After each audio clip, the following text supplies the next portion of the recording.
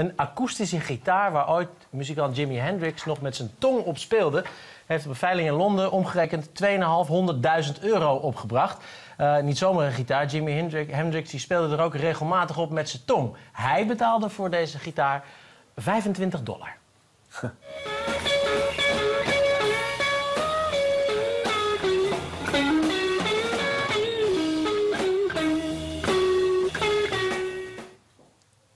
Speel je een instrument?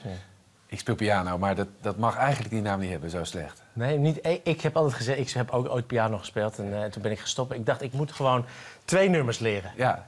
Eentje en dan stoppen en dat iedereen zegt, nou kom op, doe er nog één. En dat je dan zegt, nou doe nog eentje. Nog eentje, nou, dat is een goede truc. Ja, hè? Zelfs zover weet Nee, ik kan het niet helemaal. Het is wel leuk, hè, muzikant.